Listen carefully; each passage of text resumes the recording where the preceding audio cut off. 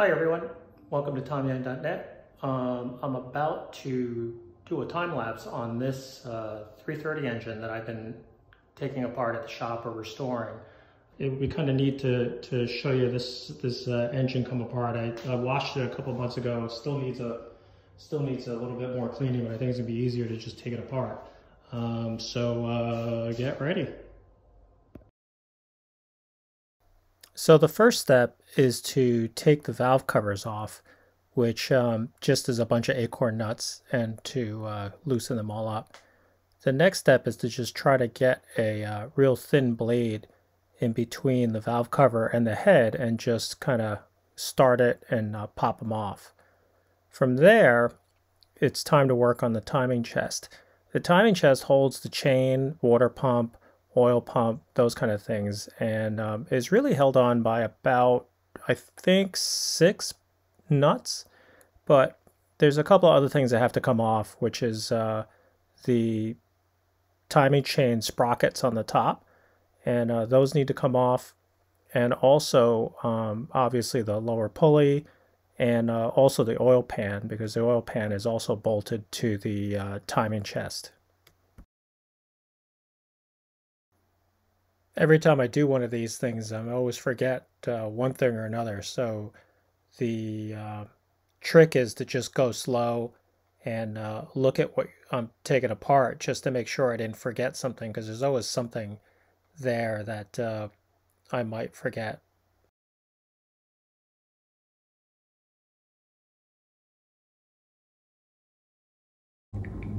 All right, well, I got the oil pan off and uh,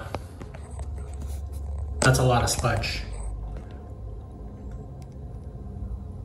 So obviously it's all gonna get cleaned out, but that's one of the reasons why I always, whenever I watch these shows that start a car up that's been sitting forever and you know, they said, oh, just put some new fresh oil in it and run it.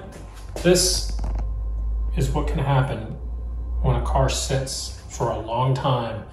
The oil just sits in the bottom of the pan and then where the pickup is, just gonna suck that all up and push that through the rest of the engine.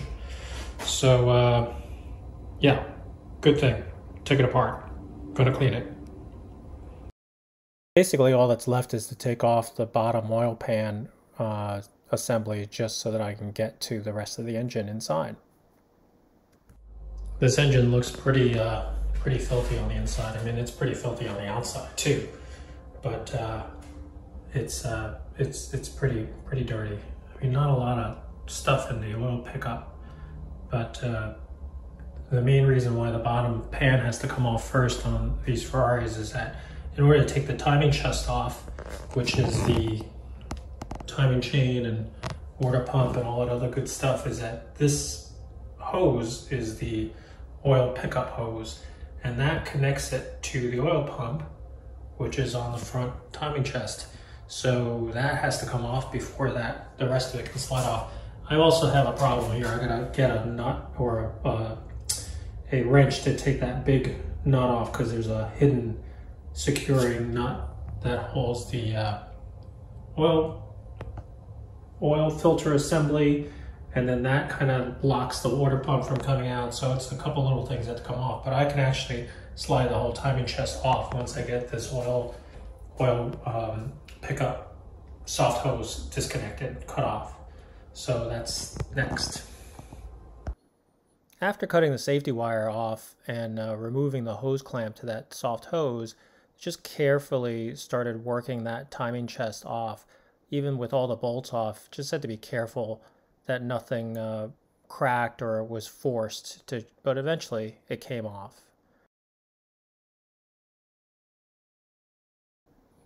With the timing chest off, it was time for me to move on to the top of the engine and start removing all the rocker stands that hold the adjusters and uh, roller followers.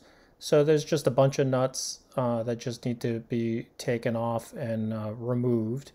Uh, pretty dirty stuff, but uh, we'll get all that stuff cleaned up uh, when it all goes into the wash tank.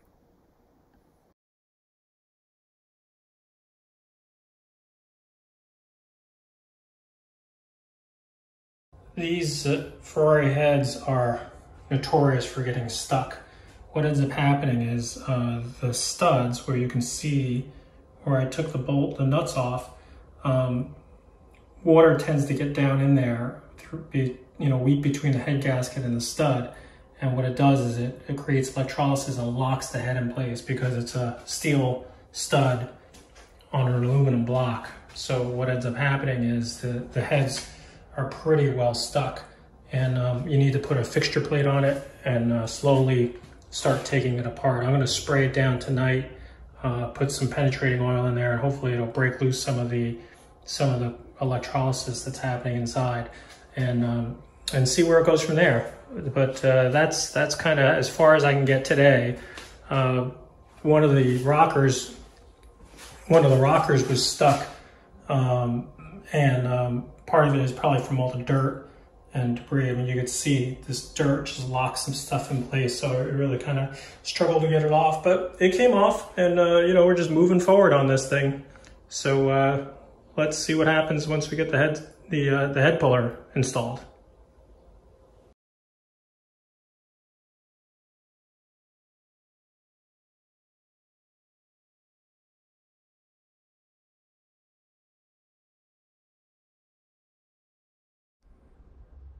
Well, there you have it.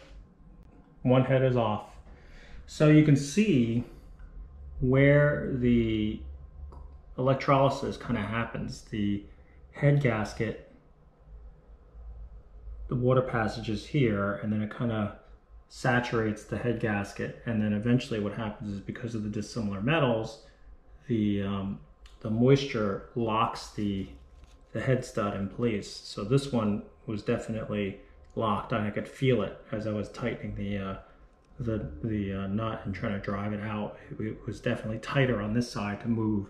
You know, you just got to be really careful because you know if you you know you have to feel. It's it's kind of like a feel that you you do when you when you crank on these things to push against the head stud because some of them will come and feel like they're moving and then others and you just kind of measure it as you're as you're moving. I mean, it looks like uh, watching uh, watching paint dry, but it, you know it moves so slowly. But you you just got to measure it all the way and and uh, be really careful about about making sure that the head's coming off evenly.